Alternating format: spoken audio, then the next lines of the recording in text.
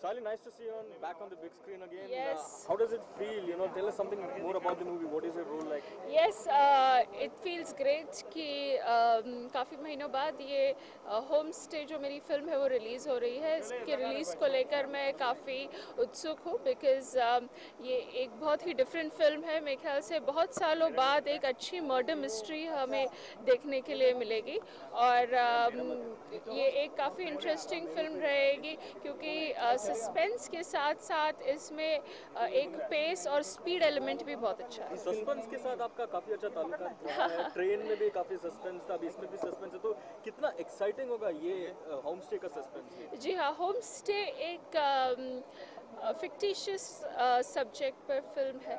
तो ये करना बहुत ही मुश्किल था क्योंकि आप हॉरर कर सकते हो, आप सस्पेंस फिल्म्स कर सकते हो, लेकिन एक मर्डर मिस्ट्री को दिखाना बहुत ही मुश्किल है।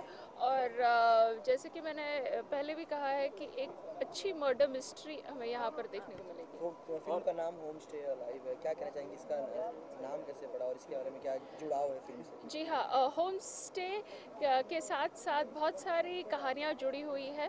होम स्टे एक जैसे पेइंग गेस्ट होता है जैसे छोटा सा होटल स्टे होता है वैसे होम स्टे होता है टूरिस्ट के लिए।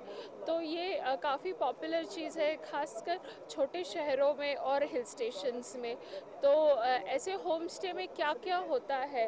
एक लड़की के साथ और कैसे ये एक रोमांचक इसका एंड है इस इस पर ये फ़िल्म है। सारी शादी के बाद लाइफ कैसे बदला है आपका? मेरे ख्याल से शादी के बाद लाइफ थोड़ी बहुत बदल गई है लेकिन बहुत ज़्यादा नहीं।